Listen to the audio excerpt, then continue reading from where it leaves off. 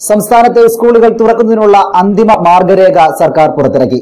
ആറ് ദിവസമായിരിക്കും അധ്യയനം ഉണ്ടായിരിക്കുക. തിരികെ സ്കൂളിലേക്ക് എന്ന പേരിലാണ് മാർഗരേഖ പുറത്ത് ഇറക്കിയിരിക്കുന്നത്. പൊതുനിർദ്ദേശങ്ങളടക്കം എട്ട് ഭാഗങ്ങളുള്ള മാർഗരേഖയാണ് നിലവിൽ വരിക. ആറ് വകുപ്പുകൾ ചേർന്ന മാർഗരേഖ നടപ്പിലാക്കും.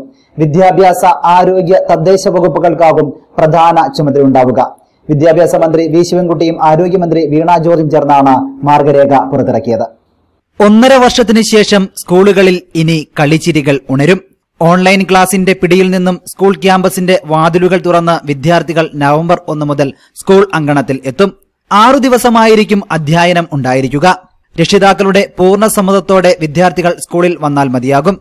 എല്ലാവരും സ്കൂളിൽ എത്തണമെന്ന് നിർബന്ധമില്ല. പൊതു അവധി ദിനങ്ങളല്ലാത്ത ശനിയാഴ്ചകളിലും സ്കൂൾ പ്രവർത്തിക്കും. ആദ്യത്തെ രണ്ടാഴ്ച ഉച്ചവരെ മാത്രമായിരിക്കും ക്ലാസ് ഉണ്ടാവുക. സ്കൂളുകളിലെ സാഹചര്യം പരിഗണിച്ചാവും വിദ്യാർത്ഥികൾക്ക് ഉച്ചഭക്ഷണം നൽകുക.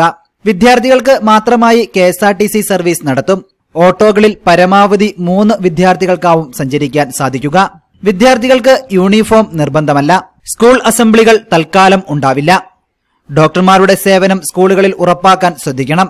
കോവിഡ് മാനദണ്ഡം പാലിച്ച് പ്രവേശനോത്സവം നടത്താനാണ് ശ്രമം. സ്കൂളുകളിൽ എത്തുന്ന അധ്യാപക അനധ്യാപക ജീവനക്കാർ നിർബന്ധമായും രണ്ട് ഡോസ് വാക്സിൻ സ്വീകരിച്ചിരിക്കണം. സ്കൂൾ ബസ്സിലെ ജീവനക്കാർക്കും ഈ നിബന്ധന ബാധകമാണ്. കുട്ടികൾ കൂട്ടം കൂടുന്നില്ലെന്ന് അധ്യാപകർ ഉറപ്പാക്കണമെന്ന് മാർഗരേഖയിൽ പറയുന്നു.